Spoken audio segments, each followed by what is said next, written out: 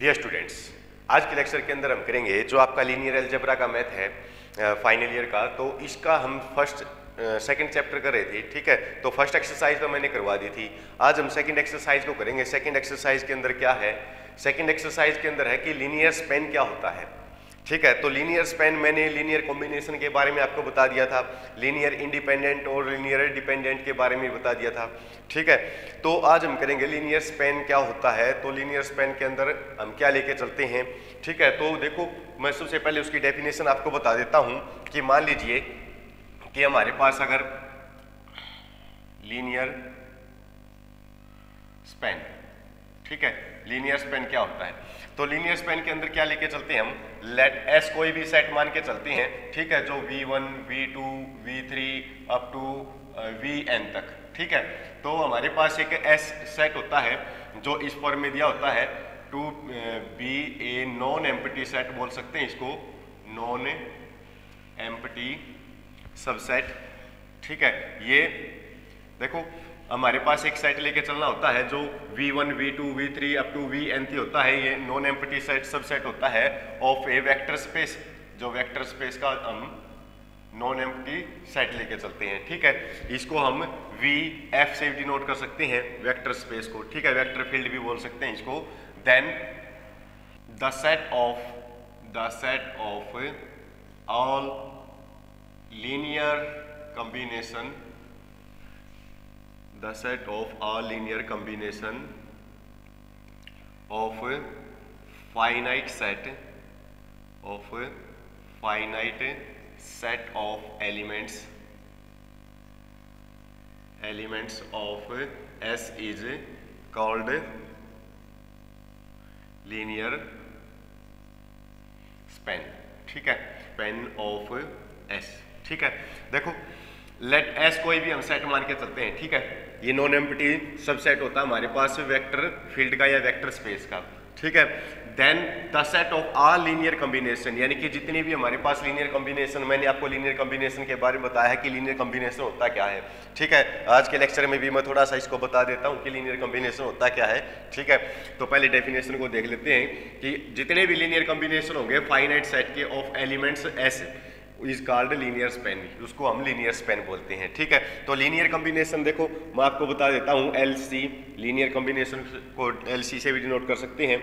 जैसे हमारे पास कोई वेक्टर फ़ील्ड देगा, यानी कि हमारे पास इस तरह कोई देगा, कोई तो मान लीजिए वी नाम से भी हम डिनोट कर सकते हैं is equal to V one plus V two plus A V one plus B V two plus C V three ठीक है? इस फॉर्म में हम लेके चलेंगे, जितने भी क्वेश्चन होंगे हमारे पास। जैसे अगर इसके ऊपर क्वेश्चन देखना है तो मैं आपको वीडियो के नीचे लिंक प्रोवाइड कर देता हूँ, ठीक है? तो उसमें से आप लीनियर कॉम्बिनेशन को देख लेना। लीनियर कॉम्बिनेशन को हम इस फॉर्म में लिखते हैं, ठीक है? और यहाँ से ए बी सी की वैल्यू फाइंड करते हैं।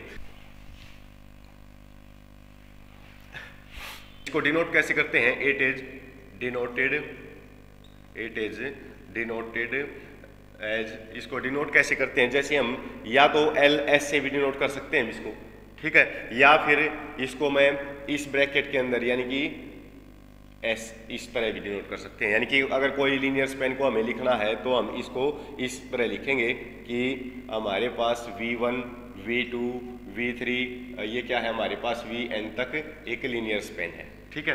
अब इसको हम प्रूफ कैसे करेंगे कि लीनियर स्पेन के अंदर है या नहीं है? तो उसके लिए देखो, मैं क्वेश्चन लेके चलता हूँ। मान लीजिए आपके पास क्वेश्चन दे रखा है। आपके मैथ के अंदर से लेके चलेंगे। तो देखो, कि मान लीजिए आपके पास ये दे रखा है question one zero zero show that the set of show करके दिखाना हमें। सेट हमारे पास दे रखा है one zero zero zero one zero और ज़ीरो ज़ीरो वन। ठीक है? Which which is the subset of V? R3 span of the entire vector V. ठीक है? यानी कि हमें ये प्रूफ करके दिखाना है कि लीनियर स्पेन जो होगा, या इससे भी नोट कर सकते हो, वो वी का होगा। ठीक है? तो ये हमें शो करके दिखाना है। देखो इसके लिए हम क्या करेंगे? जैसे लीनियर कॉम्बिनेशन के अंदर हम लिखते थे तो इसको भी मैं लीनियर कॉम्बिनेशन के अंदर ही लिखूँगा, ठीक है? लीनियर कॉम्बिनेशन को हम जैसे यहाँ मान लीजिए हमारे पास एक वी वैक्टर मान के चलते थे हम, ठीक है? तो मैं कोई वी वैक्टर मान के चलता हूँ let V be the vector मान लीजिए आपके पास है एक्स वाई जेड ठीक है? X Y Z A B C कुछ भी मान सकते हो आप। तो इसको देखो, अगर मैं इसी के अंदर लिखूँगा तो v इज़ इक्वल टू इसको मैं v1 मान लेता हूँ, इसको v2 मान लेंगे, इसको v3 मान लेंगे। ठीक है? तो A V one plus B V two plus C V three ठीक है? अगर तीन दे रखे हैं तो हम तीनों लिख लेंगे। अगर फोर दे रखे होंगे तो डी वी फोर भी लिख देते हैं हम। ठीक है? तो वी तो हमारे पास हम मान के चले हैं ये। तो X Y Z is equal to A आपके पास कोई कॉन्स्टेंट लेके चलना है वी आपके वी वन आपके पास ये वेक्टर दे रखा है वन ज़ीरो ज़ीरो ठीक है? प्लस बी आपके पास कोई कॉन्स्टेंट है और वी टू वेक्टर आपके पास ये है ज़ीरो वन ज़ीरो ठीक है? प्लस सी हमारे पास कोई कॉन्स्टेंट है और ये वेक्टर आपके पास ज़ीरो ज़ीरो वन ठीक है?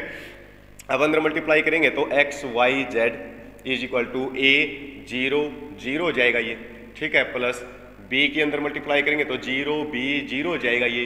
प्लस सी के अंदर मल्टीप्लाई करेंगे तो ज़ीरो ज़ीरो सी हो जाएगा। ठीक है? ठीक है? अब देखो x, y, z तो आपके पास एच डीज रहेगा। इनको अगर हम ऐड करेंगे तो a ये आ जाएगा तीनों को ऐड करेंगे तो। ठीक है? और इसको इसको इसको ऐड करेंगे तो यहाँ पर बी आ जाएगा। इसको इसको इसको ऐड करेंगे तो यहाँ पर सी आ जाएगा। ठीक है? तो अगर हम फ़र्स्ट को फ़र्स्ट के इक्वल रखेंगे तो x इज़ इक्वल टू या a is equal to X आ जाएगा हमारे पास। B is equal to Y आ जाएगा आपके पास। तो b is equal to Y और c is equal to Z आ जाएगा। यानी कि देखो एक्स वाई जेड की वैल्यू हमारे पास यहाँ पर कुछ ना कुछ मिल रही है। या सॉरी ए बी सी की वैल्यू आपके पास कुछ ना कुछ मिल रही है। अगर ए बी सी की वैल्यू अगर आपके पास कुछ मिलती है तो क्या मिली आपके पास? एक्स वाई जेड मिली है। यानी कि एक्स वाई जेड क्या था? हमारे पास वी था। यानी कि अगर मैं इसको लिखूँगा, यानी कि लीनियर स्पेन को लिखेंगे तो वापिस हमारे पास एक्स वाई जेड यानी कि वी आ जाएगा। तो हम इसको बोल सकते हैं कि लीनियर स्पेन जो होगा, वो किसके इक्वल होगा? V के इक्वल होगा। यही हमें शो करके दिखाना था। देखो लीनियर स्पेन होता क्या है कि अगर हमारे पास यहाँ से ए बी सी की वैल्यू अगर हम निकालें ए बी सी की अगर वैल्यू आपके पास आ जाती है तो वो लीनियर स्पेन के अंदर होता है। अगर ए बी सी की वैल्यू आपके पास नहीं आती तो वो लीनियर स्पेन के अंदर नहीं होता। ठीक है? तो यही बात इसमें मेन इंपॉर्टेंट है कि अगर कोई भी हमारे पास दे रखा है तो हम उसको लीनियर कॉम्बिनेशन के अंदर लिख लेंगे, जैसे हम लीनियर कॉम्बिनेशन के अंदर लिखते थे क्वेश्चन को, ठीक है? तो लीनियर कॉम्बिनेशन के अंदर लिखने के बाद अगर ए बी सी की वैल्यू अगर आपको मिल जाती है तो लीनियर स्पेन है, और अगर ए बी सी की वैल्यू आपके पास नहीं मिलती तो वो लीनियर स्पेन के अंदर नहीं है, ठीक है? क्लियर है? अब देखो और क्वेश्चन लेके चलता हूँ, जैसे आपके एक्सरसाइज के अंदर दे रखे हैं तो उनको अभी शो करके देखेंगे कि वो लीनियर स्पेन के अंदर है या नहीं है, ठीक है? तो क्वेश्चन है आपका ये दे रखा है कि which of the following vectors in आपके पास ये दे रखे हैं? यानी कि एस कोई लीनियर स्पेन आपको दे रखा है और बोल क्या रखा है? इसके अंदर ये दे रखा है आपको यहाँ पर दे रखे हैं वेक्टर वन टू वन तो वन टू वन ठीक है, ये वी वन हो जाएगा आपका और वन वन माइनस का वन ठीक है? और थर्ड आपके पास दे रखा है फोर फाइव माइनस का टू तो फोर, फाइव, फोर माइनस का टू, ये दे रखा है। ठीक है? और ये हमें क्या बताना है कि लीनियर स्पेन है या नहीं है? ठीक है? और इसके आपके पास है ये भी दे रखा है, वेक्टर दे रखा है टू माइनस का वन और माइनस का एट। ये आपके पास दे रखा है। तो देखो इसको हम कैसे शो करेंगे? लीनियर स्पेन के अंदर है या नहीं है? तो वही, ये तो आपके पास वी वेक्टर हो जाएगा। इसको मैं v1 मान के चलता हूँ, इसको v2 मान के चलता हूँ और इसको v3 मान के चलता हूँ। ठीक है, यहाँ से मैं इसको लीनियर कॉम्बिनेशन की तरह लिख लेंगे। तो v is equal to A V one plus B V two plus C V three ठीक है, v आपके पास है माइ टू माइनस का वन और माइनस का एट a की वैल्यू आप a तो कांस्टेंट है, इसकी वैल्यू आपके पास है one two one plus B H is C की वैल्यू यहाँ पर वी टू की वैल्यू है वन वन माइनस का वन और प्लस सी एच इज़ यहाँ पर वैल्यू रखेंगे हम फाइव फोर फाइव माइनस का टू ठीक है? अब ए के अंदर मल्टीप्लाई कर देते हैं तो टू माइनस का वन माइनस का eight is equal to A two A और ए आ जाएगा। Plus B H is sorry B की भी अंदर मल्टीप्लाई करेंगे तो बी बी और माइनस का बी आ जाएगा। प्लस सी के अंदर मल्टीप्लाई करेंगे तो four C five C minus का टू सी आ जाएगा। ठीक है? अब इनको ऐड करेंगे तो फ़र्स्ट में फ़र्स्ट वाले ऐड करेंगे तो इसको तो हम एच लिख लेंगे। टू माइनस का वन और माइनस का एट इज़ इक्वल टू यहाँ पर आपके पास आ जाएगा A plus B plus four C आ जाएगा। अब इसको इसको और इसको ऐड करेंगे तो two A plus five C plus sorry B यहाँ पर बी आएगा। ठीक है? बी प्लस फाइव सी आ जाएगा। ठीक है? और इसको इसको और इसको ऐड करेंगे तो A minus B minus two C आ जाएगा। ठीक है? अब मैं फ़र्स्ट को फ़र्स्ट के इक्वल रख देता हूँ तो a plus B plus four C is equal to two आ जाएगा। और यहाँ से इसको, इसके इक्वल रखेंगे तो two A plus B plus five C आ जाएगा इज़ इक्वल टू माइनस का वन और a minus B minus two C is equal to minus eight के इक्वल रखेंगे। ठीक है? अब यहाँ से तीन इक्वेशन आपके पास। तीनों इक्वेशन में से हम क्या करेंगे? ए बी सी की वैल्यू फाइंड करेंगे। अगर आपके पास ए बी सी की वैल्यू आ जाती है तो लीनियर स्पेन के अंदर है। अगर नहीं आती तो लीनियर स्पेन के अंदर नहीं है। अब ये तीन इक्वेशन आ गई आपके यहाँ से। इसको मैं फ़र्स्ट मान लेता हूँ। ये आपके पास सेकंड हो जाएगी। या आपके पास थर्ड इक्वेशन हो जाएगी। ठीक है? अब फ़र्स्ट सेकंड थर्ड को अगर मैं सोल्व करूँगा यहाँ से तो मैं सेकंड और थर्ड को ले लेता हूँ। तो सेकंड और थर्ड को सोल्व करेंगे तो two A plus B plus का five C is equal to minus का वन ठीक है? यहाँ से बी को कैंसिल कर देंगे तो three A plus three C is equal to minus nine three से इसको डिवाइड करेंगे तो A plus C is equal to minus का थ्री इसको फोर्थ इक्वेशन मान लेते हैं, ठीक है?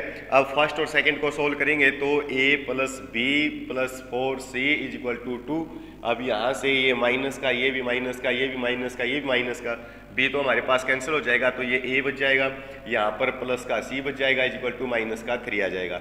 A plus C is equal to minus का थ्री यहाँ पर भी क्या है? A plus C is equal to minus का थ्री है। अगर मैं दोनों को सोल्व करूँगा तो क्या आपके पास ए और सी की वैल्यू निकल आएगी यहाँ से?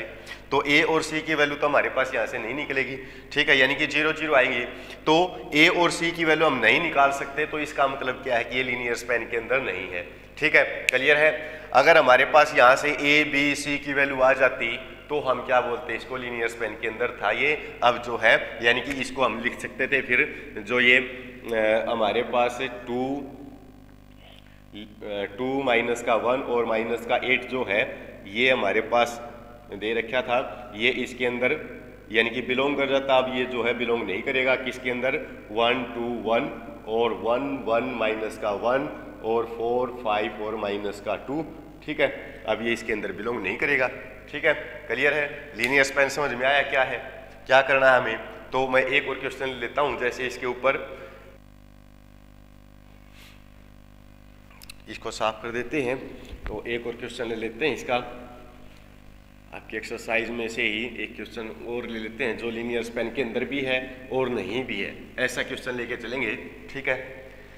कि show that three seven belonging to three seven belong करता है, यानी कि थ्री सेवन जो है, ये बिलोंग करता है, किसके अंदर बिलोंग करता है, ये आपके पास दे रखा है one two zero one one two और ज़ीरो वन ठीक है, इसके अंदर बिलोंग करता है but does not belongs to और इसके अंदर बिलोंग नहीं करता, यानी कि थ्री सेवन जो है, ये डज नॉट बिलोंग्स टू किसके अंदर किसके अंदर बिलोंग नहीं करता ये? वन टू और टू फोर वन टू और टू फोर ठीक है, इसके अंदर ये बिलोंग नहीं करता। तो देखो थ्री सेवन जो है, इसके अंदर तो बिलोंग करता है और इसके अंदर बिलोंग नहीं करता, ये हमें शो करके दिखाना। है तो वही, हम इसको वी वेक्टर मान के चलेंगे, इसको वी वन इसको वी टू ठीक है लीनियर कॉम्बिनेशन के अंदर लिखेंगे इसको। तो लीनियर कॉम्बिनेशन के अंदर हम कैसे लिखते हैं? V is equal to A V one plus B V two ठीक है? अब यहाँ से ये तो थ्री सेवन है आपके पास इज़ इक्वल टू ए आपके पास एच डीज और वी वन की वैल्यू है वन और टू प्लस बी की वैल्यू आपके पास बी एच डीज और वी टू की वैल्यू है ज़ीरो और वन ए के अंदर मल्टीप्लाई करेंगे तो three seven is equal to A और टू ए हो जाएगा आपके पास ये प्लस बी के अंदर मल्टीप्लाई करेंगे तो ज़ीरो और बी आ जाएगा. अब दोनों को ऐड करेंगे तो थ्री सेवन तो आपके पास एच डीज ए को इसके अंदर ऐड करेंगे तो ए आ जाएगा इसको इसके अंदर ऐड करेंगे तो टू ए प्लस का बी आ जाएगा। ठीक है? अब मैं फ़र्स्ट को फ़र्स्ट के इक्वल रख लेता हूँ तो A is equal to three और सेकंड को सेकंड के इक्वल रखेंगे तो two A plus B is equal to seven A की वैल्यू थ्री है इसके अंदर पुट करेंगे तो ये सिक्स हो जाएगा plus B is equal to seven और बी की वैल्यू वन आ जाएगी हमारे पास। तो देखो, अब ए और बी की वैल्यू तो इसके अंदर आ रही है। तो इसका मतलब ये लीनियर स्पेन है, यानी कि बिलोंग करेगा। इसके अंदर तो हम इसको लिख सकते हैं कि थ्री सेवन जो है, ये बिलोंग करेगा किसके अंदर? वन टू और ज़ीरो वन के अंदर। ठीक है? तो इसके अंदर तो बिलोंग करता है। अगर मैं यही क्वेश्चन इसी के ऊपर लेके चलूँ कि डज नॉट बिलोंग्स टू इसके अंदर तो इसको भी मैं वी मान के चलता हूँ, ये वी टू हो जाएगा आपके पास, ये वी वन हो जाएगा आपके पास, ये वी टू हो जाएगा। ठीक है? अब लिखो, यहाँ पर मैं इसको लिख देता हूँ कि v is equal to A V one plus B V two linear combination के अंदर लिखना हमें। और v की वैल्यू है three seven is equal to A H D's V two V one की वैल्यू है वन टू और plus B H D's V two की वैल्यू है टू फोर ठीक है ए के अंदर मल्टीप्लाई करेंगे तो three seven is equal to A और टू ए आ जाएगा। प्लस बी के अंदर मल्टीप्लाई करेंगे तो ये आपके पास टू बी और फोर बी आ जाएगा। ठीक है तो थ्री सेवन तो आपके पास H D is equal to इसको इसके अंदर ऐड करेंगे तो ए प्लस का टू बी हो जाएगा और इसको इसके अंदर ऐड करेंगे तो टू ए प्लस का फोर बी आ जाएगा। अब फ़र्स्ट को फ़र्स्ट के इक्वल रखेंगे तो A plus two B is equal to three और यहाँ पर आपके पास आ जाएगा टू ए प्लस का four B is equal to seven ठीक है, अब यहाँ से तो ये इसको मैं अगर टू से डिवाइड करता हूँ तो A plus two B is equal to seven by two आ जाएगा। अब देखो अब a plus two B three के इक्वल है, a plus two B seven by two के इक्वल अगर दोनों को सोल्व करेंगे तो यहाँ से दोनों सोल्व नहीं होंगे, यानी कि a और b की वैल्यू आपके पास ज़ीरो हो जाएगी। तो इस तरह अगर हमारे पास ये आ जाएगा तो a और b की वैल्यू हम नहीं निकाल सकते। जब a और b की वैल्यू नहीं निकलेगी तो क्या हो जाएगा? ये इसके अंदर बिलोंग नहीं करेगा, यानी कि लीनियर स्पेन के अंदर नहीं होगा। ठीक है? क्लियर है? तो मैंने आपको इसकी डेफिनेशन यही बताई थी कि लीनियर कॉम्बिनेशन के अंदर अगर जब जब भी हम किसी सबसेट को लिखेंगे और उसको वहाँ से अगर हम लीनियर कॉम्बिनेशन के अंदर लिखने के बाद अगर वहाँ से हम वैल्यू निकाल लेते हैं तो इसका मतलब वो लीनियर स्पेन के अंदर है। अगर वैल्यू नहीं निकलेगी तो इसका मतलब वो लीनियर स्पेन के अंदर नहीं है। ठीक है? क्लियर है? तो ये था लीनियर स्पेन का आपके पास टॉपिक ठीक है? तो नेक्स्ट लेक्चर में हम नेक्स्ट टॉपिक करेंगे। Thank you